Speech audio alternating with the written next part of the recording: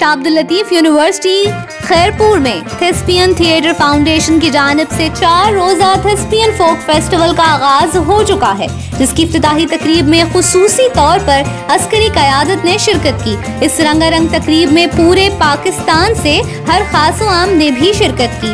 Folk festival کو کرنے کا مقصد اس بات کا پیغام دینا کہ ہم اپنی علاقائی زبانوں کو یکساں اہمیت دیتے ہیں اور یہ ہماری پہچان اور ہماری ثقافت کا حصہ ہیں۔ تقریب کے مہمان خصوصی میجر جنرل طاہر حمید تھے۔ شابد الطیف یونیورسٹی کی vice chancellor professor doctor Parveen Shah نے مہمانوں کو خوش آمدید کیا۔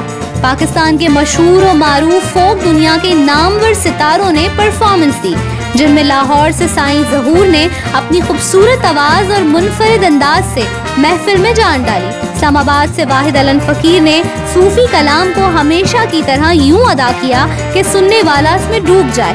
پاکستان کی مشہور کتھک ڈانس پرفارمر نگت چودھری نے اپنے مخصوص انداز میں رقص پیش کیا۔ شابد الطیف یونیورسٹی کی یوتھ کی حوصلہ افزائی کے لیے مشہور وی لاگر جنید اکرم نے سیشن بھی دیا۔